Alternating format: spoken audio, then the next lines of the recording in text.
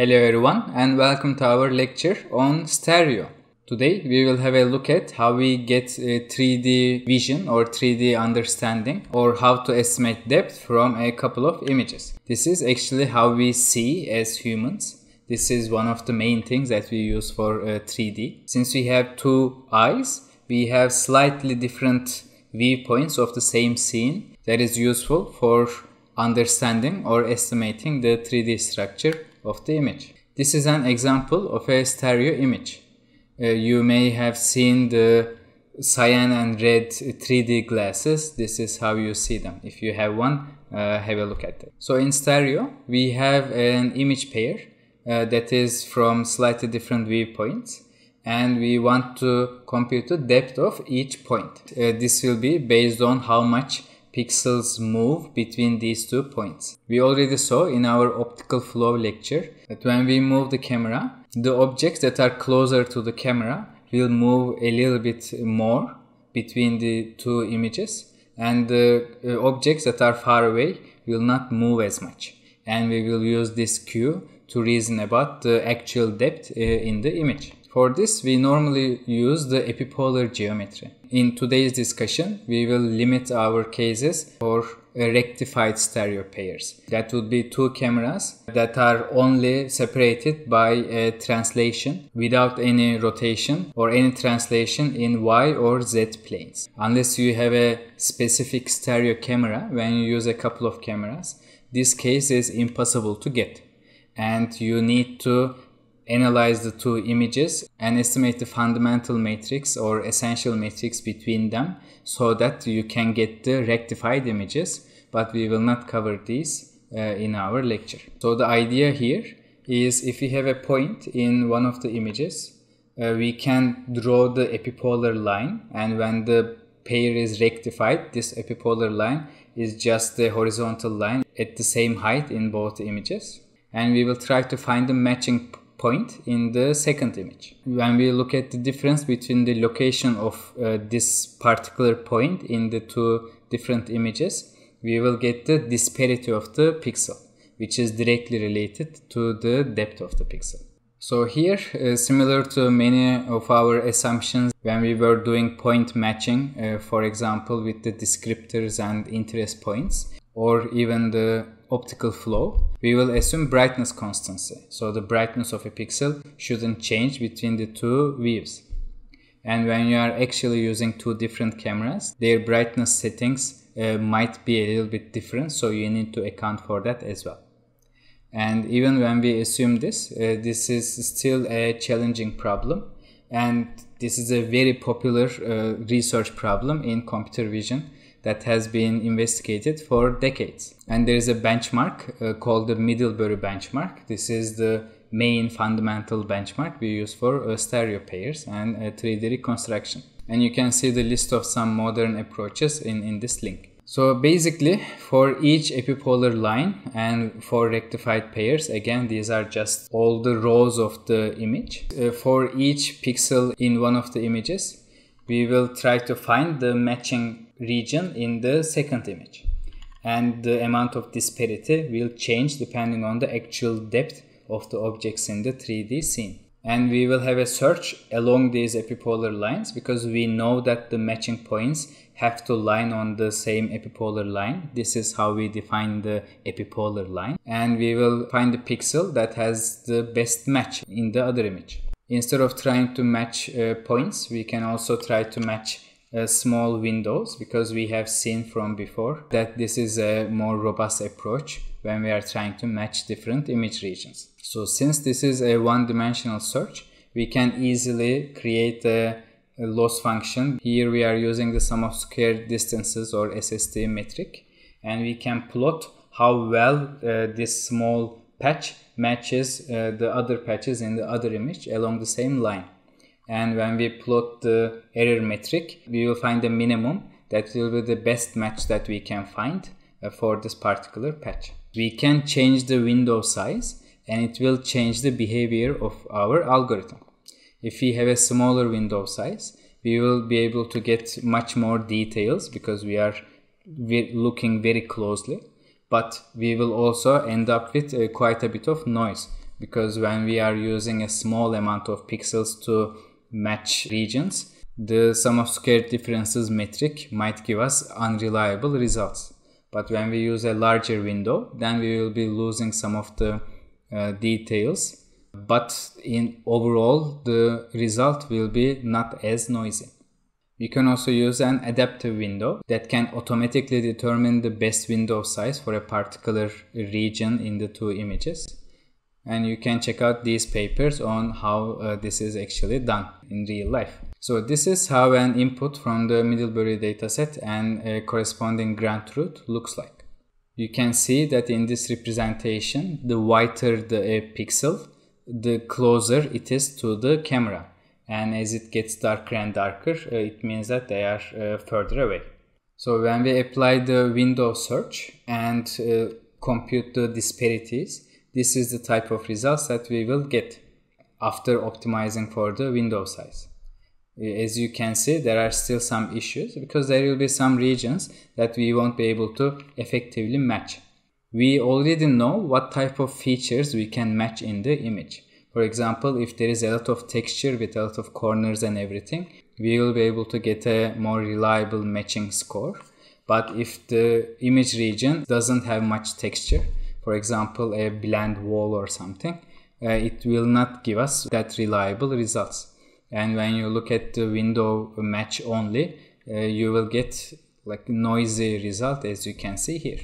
We will see what how we can solve this but uh, this is an example result of how we can get a better result uh, with a more sophisticated energy formulation or energy minimization formulation so we already defined the good uh, match criteria the defined windows around our pixel uh, should match very well with the corresponding uh, region in the second image.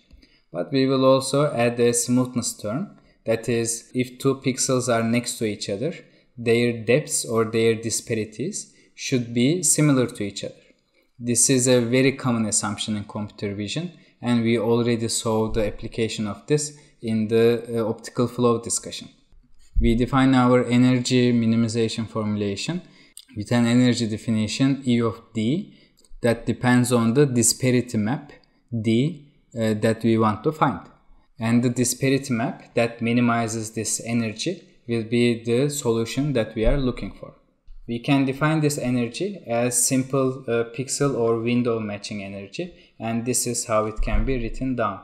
Here the C function represents the uh, SSD error that we found, the window matching error essentially.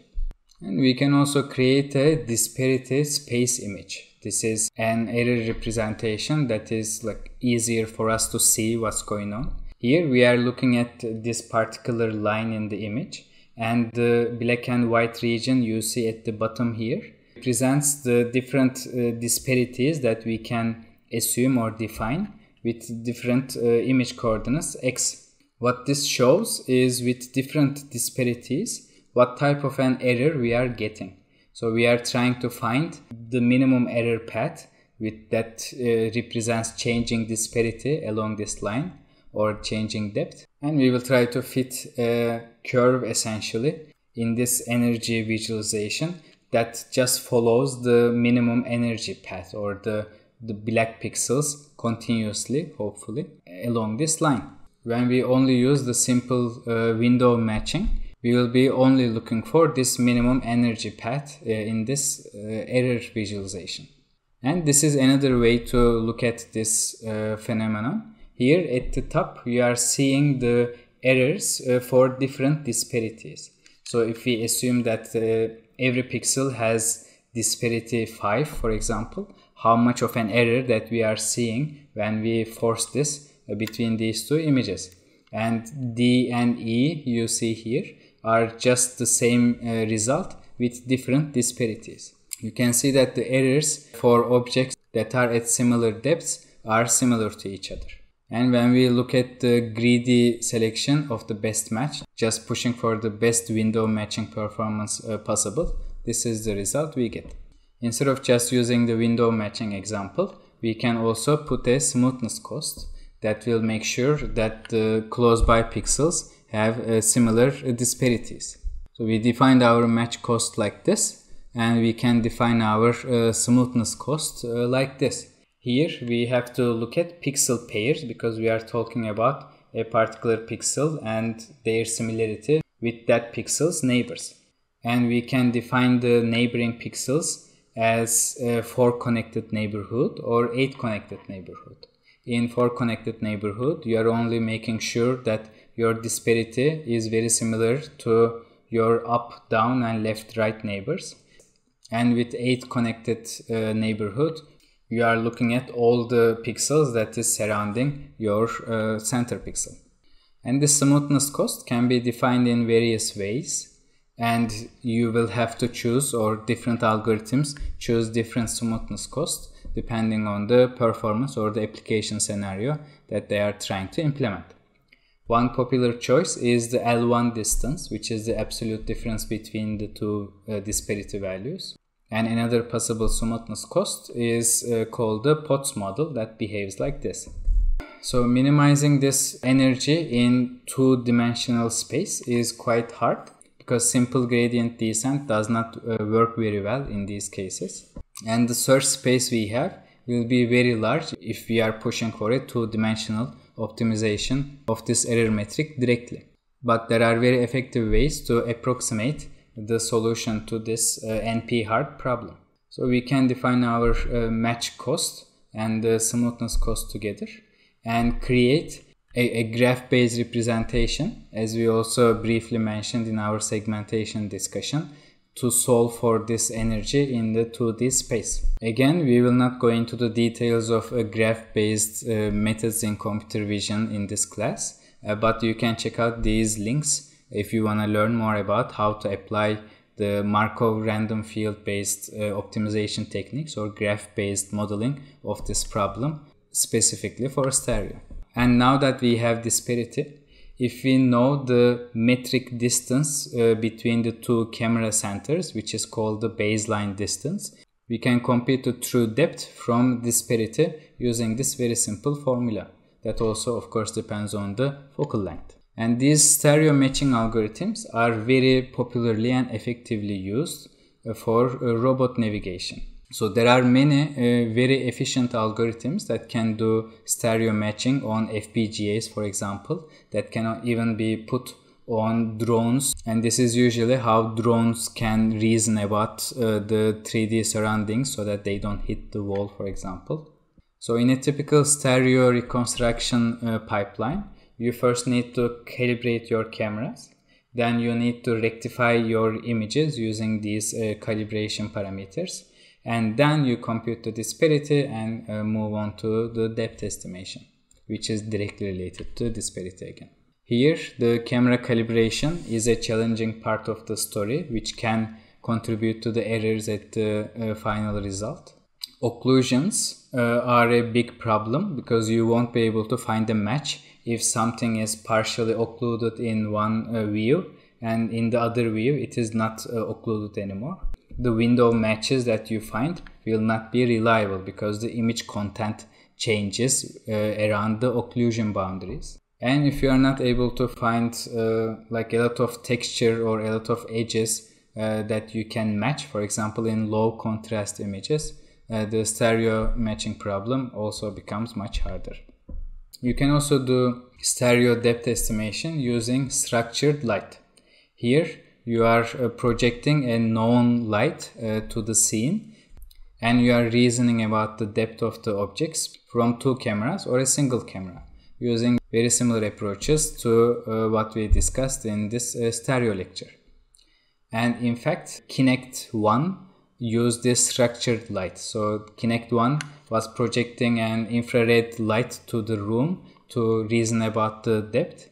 But the most recent uh, Kinect uses time of flight camera that again illuminates the scene, but it reasons about the depth in the image by looking at the reflection or how long it took for the light hit the target or hit the object in the scene and come back to the uh, camera. Since we can't really measure or realistically measure this time of flight because the light is just moving at light speed. We can look at the phase shift between the outgoing light and the incoming light and there is a time of flight depth estimation. For very high accuracy 3D reconstruction, a similar idea can be used with laser scanning as well. Here, a single line of laser uh, scans the whole uh, scene or the whole object uh, for stereo reasoning.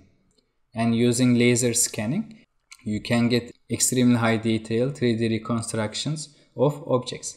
But this is of course not very practical because you cannot uh, apply laser scanning in many different real life uh, application scenarios. And this approach has been used to store these type of artistic uh, artifacts for instance. So our required reading today is uh, section 12.3 4 and 5 uh, dense correspondence uh, local methods and global optimization.